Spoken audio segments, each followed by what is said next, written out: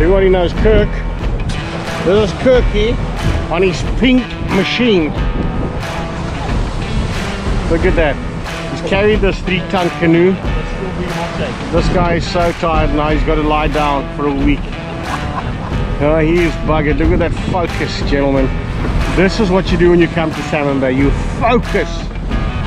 Look at that. Look at that body of a beast. yeah, gets into medium clothing.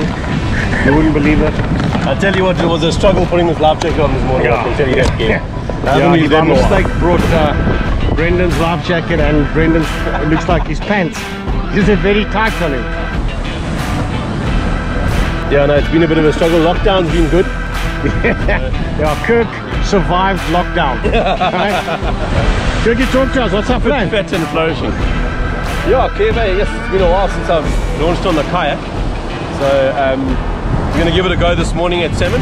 Yeah. You uh, gave me one or two reports that divers had seen some uh, some some tuna. Yeah, absolutely. So uh, right on this shallow inside wreck just off the back line. So we're going to go and see if we can get some bait. Well, my planning is go and get some baits, pull a couple of baits around where they Yeah, store the fish, absolutely.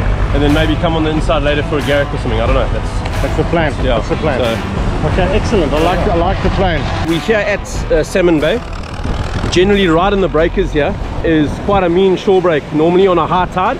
At the moment, it's pretty chilled because it's a it's a full low now. So what happens there is your tide actually drains out, and uh, the shore break relaxes a bit. You get into a mid-break spot here at Salmon where you can just wait for your gap. I'm going to take you along for the ride. We're going to film the launch, and uh, yeah, hopefully we check you on the back line unscathed. This little pink milkshake I got going on here. It's a, a kayak that I'm actually trying out from one of our, our good friends down the south coast, Brian Jacob, Legend Kayaks. Uh, it's the new Legend Trident. Let's push through and see what see what's going on.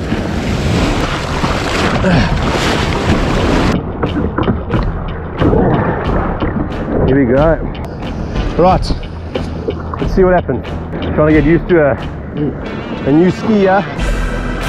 Like I said, paddling it for the first time. Not ideal to be paddling it on a on a day like today. But we're gonna get it, give it a go. All right, guys, you ready to go? Let's go. Let's go.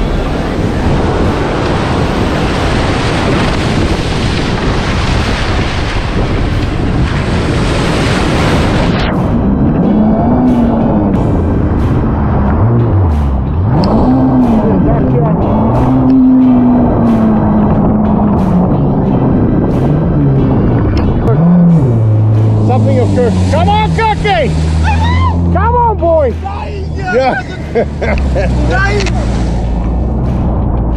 Kirky, I don't want to lie. Are you sweating or are you wet? You bring the oxygen. like I got COVID here, Uh, now you look great, eh? Is this your wife's ski? Look at this pure athleticism. Yeah, that was tough, eh?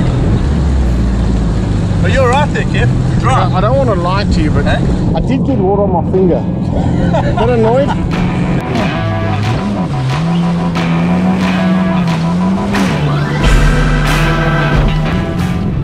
The most dangerous section is this section at Zimbali coming around the point.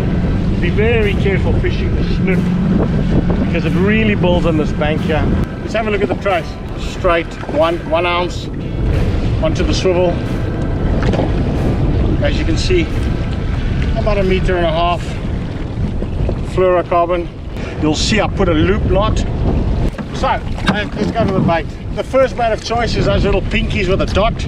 Not the sand soldier, the pinky, shad, or the small mozzie. I just take it, I make sure that I get a decent hook up in the mouth at the top so that I don't just pull the bait off. Okay, in the water, and then I just let him, so I'll put him about, I don't know, 10 meters behind the ski, very light drag. And then I'm gonna get out of here because we are in a cut place. Here? So we're on with the Gary.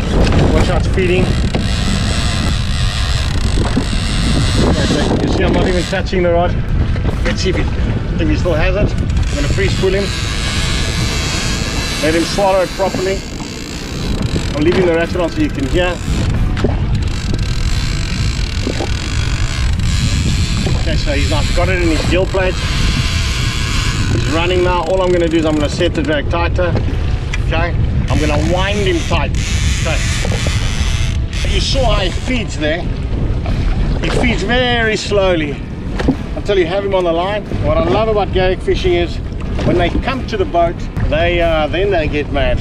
You'll see there's a lot of head, head shaking at the tip of the rod here. Going to go to the back and then I'll just load it with him. It's really not difficult to load it. eh? Just keep his head up. Not bad, huh? Not bad for an amateur. Here he is. Beautiful Garrick. Nice and healthy. Lovely shot. Alright. And say cheers to the camera. Let's get to safety. Woo boy!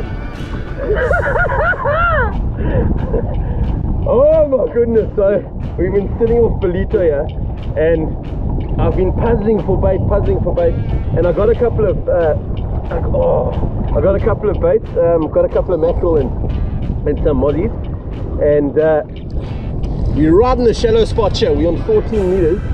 And we just, uh, myself and Kev are sitting here catching bait and, uh, and and the plan was to stick around the shallow area from the get-go because that's where these guys had been seeing these tuna. And what's happened now is we hooked up cousin. Hooked up yeah yeah just been overexcited yeah boys overexcited and um, yes I tell you I'm so chuffed I had this braid backing on my reel because it went straight into the braid I've probably got about 200 meters of 40 pound top structure. so that's just a, a 40 pound monofilament line.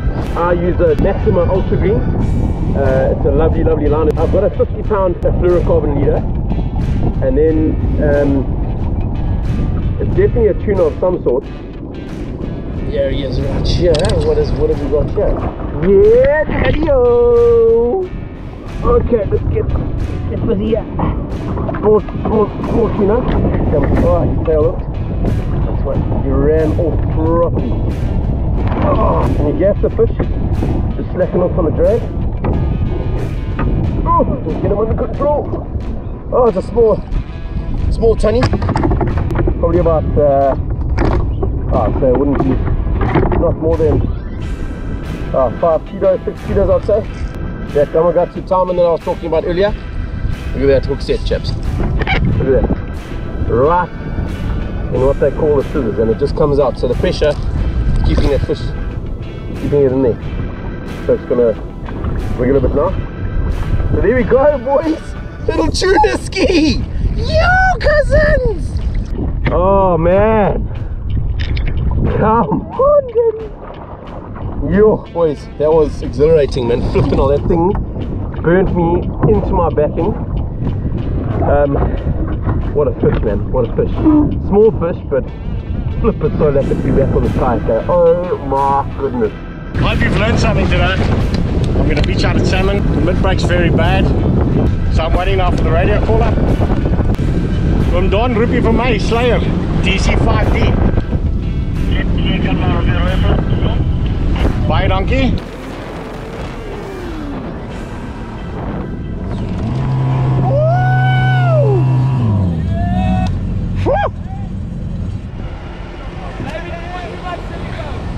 You know guys, the silicone really works.